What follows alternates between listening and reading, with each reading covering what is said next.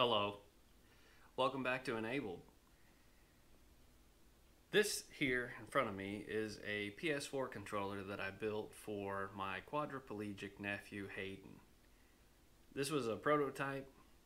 It's the first time I'd ever built anything like this, so it's not perfect, but I did want to show it to everyone because it does work. It's also not the best layout, as we found after we tested it, uh, but we're really excited that it worked and we're going to expand this into a bunch of different possibilities. So what you see here is exactly what I'm holding in my hand. It has the same capability that a PS4 controller would have. I laid it out so it would be easy to identify what the buttons were. So for example, these four buttons here, we have X, triangle, circle, and square uh, R1, L1, L2, R2, share, the PS button, and the pause option button. There's a couple buttons on here that are not listed uh, because again this was just a prototype and I wanted to see if it worked and the, and the two buttons I didn't feel were that important and that was the L3 R3 which is when you press down on the toggle switches. That's L3, R3. It also doesn't have the trackpad capability, uh, but as far as I know, that's not used a lot anyway. I'm not really a, a game console guy, I'm more of a PC mouse and keyboard guy, so I'm not really familiar with the controllers enough to know what's commonly used and what isn't. But back to this controller. We got the button layout as I just uh, mentioned. The two opposite corners here are the analog sticks, so it would be the thumb sticks on the PS4 controller. And then the two opposite corners here, this joystick up here is the directional pad. So we've got up, down, left, right. That's this guy here, up, down, left, right. And then this guy, I wanted to try something different for Hayden to see if it would work for him uh, better than pressing the buttons. This guy is a, a, joystick that if you press up on it, that's the same as pressing the triangle button. If you pull it back, that's the same as pressing the X button. And then if you take it left, that's square, and right, that's circle.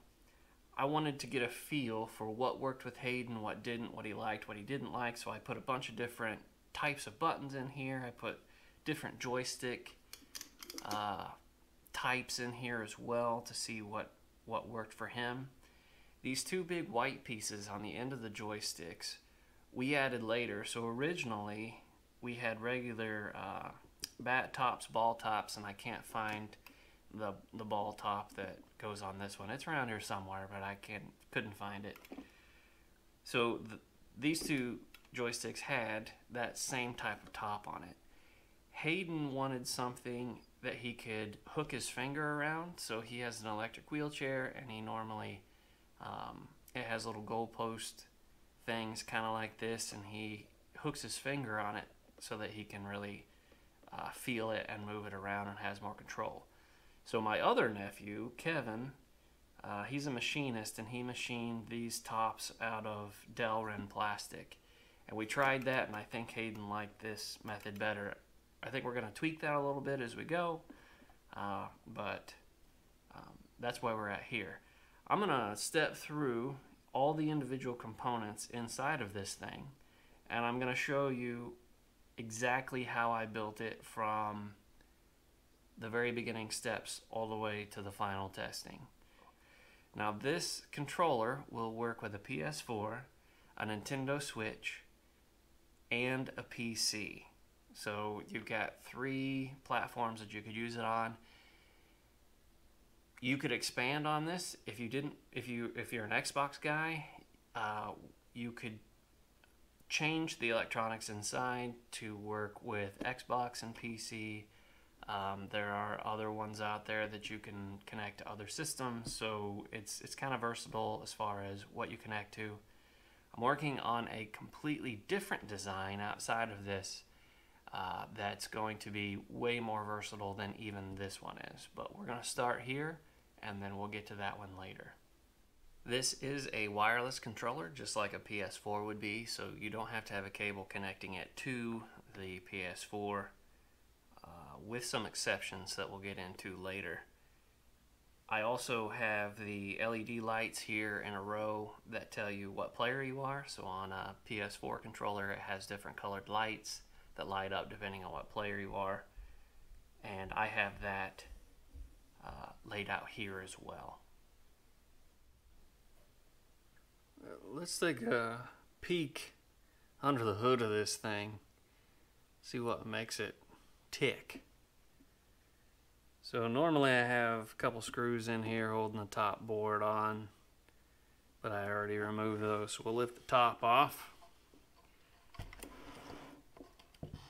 And oh my, it's a uh, wired up rat's nest. Looks like I've got a bunch of wires. Uh, there's nothing even connected to that one. A Bunch of wires strung out here that aren't connected to anything. That's fine. The reason that is is because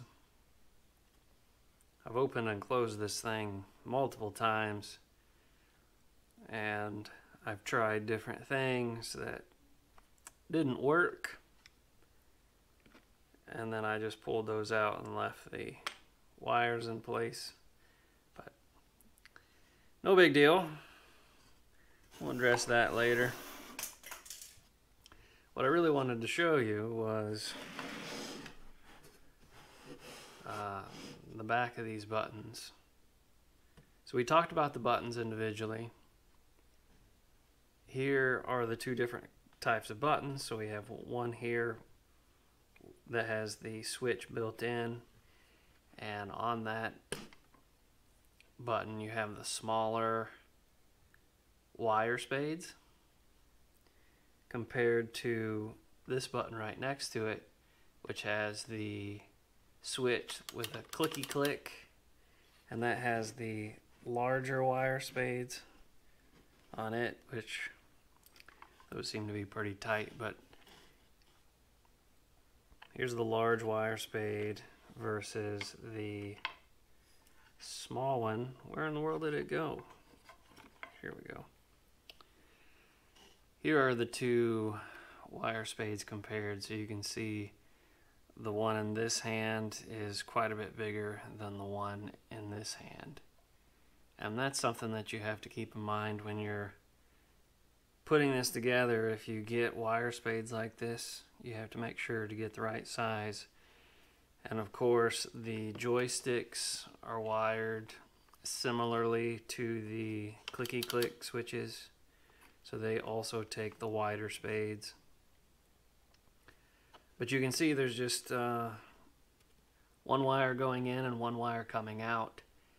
One wire is ground and the other wire just goes to the signal. And that's the same for the joysticks. The joysticks have four switches on there. So here's one, two, three, and four, and that's because you have up, down, left, and right. So it's it's really straightforward. Each one has a ground, and each one has a signal running to our electric board, which in this case is the Brook Wireless Fight Board. That's what this guy is right here. This is a breakout board uh, made by a company called Brook. And they make several versions of this. This one is a wireless, it's called the Wireless Fight Board. And it's designed to connect to a PS4, Nintendo Switch, and PC.